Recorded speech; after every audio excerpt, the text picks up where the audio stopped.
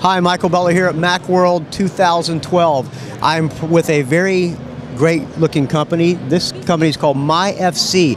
And what's cool about this thing, I think, is you can charge your iPhone or iPad with water. Hi, what's your name, sir? Hi, I'm Graham, and How are you doing, uh, Graham? I'm doing great. I'm here to talk about. You asked me how I'm doing. How are you doing, Michael? Super great, couldn't be better. Thanks for asking. So what are you from one up showing us right there, now? So this is a fuel cell. It's a, it's the only fuel cell that I know of that you can hold in the palm of your hand. But basically, this fuel cell takes water, and well, it takes H2O of, of So whatever. if I have my phone here and it's dead, right I carry this around with me and I just put water in it and it, autom- and it immediately powers this thing up. within about 10 seconds. wow. So you put water in here, about a tablespoon of water. You close that, and you pressurize. Does it matter if the water's hot or cold? No, doesn't What about matter. beer or something Yeah, I think that? Would that so. work too? Beer would work? H2O. It has to be water. It has to be. Well, it has to contain water. Oh, okay. If it's got other stuff in it, I, I'm not gonna. I'm not gonna tell you what to use or what not to Okay. use. But the requirement is H2O. So, and only about a tablespoon. So it's pretty easy to come up with a tablespoon of water. I think we could do it a number of different ways. Um, so, tablespoon of water there. The other requirement is a catalyst. So we have to somehow extract the hydrogen from the H2O, right?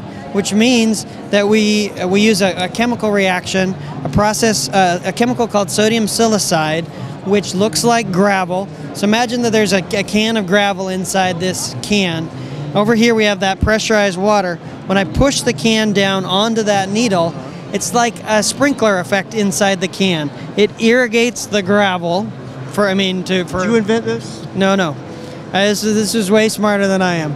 But I like talking about uh, wet gravel, so that's what we're doing. We take the water, we irrigate the gravel. What it does, that, that gravel is like, if you think about it like a desiccant, it wants to take that wet liquid, remove the oxygen, and form a solid. The solid is an inert mineral known as sodium silicate. Sodium silicate is commonly found in sand.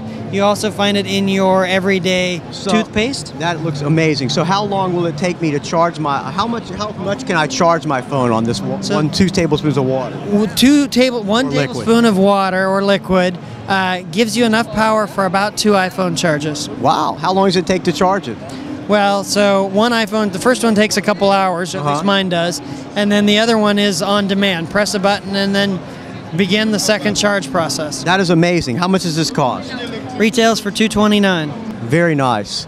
How can we find more about this amazing product?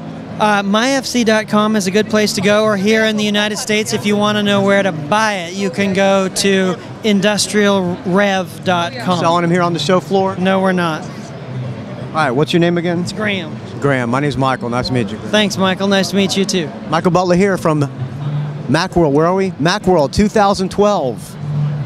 13. Oh, we're 2013. That's right. You know what year this is? Uh, I 2012. You just told me. Exactly. Yeah. It's 2013. I'm, we're both wrong. Oh. Right, thanks. Thank you.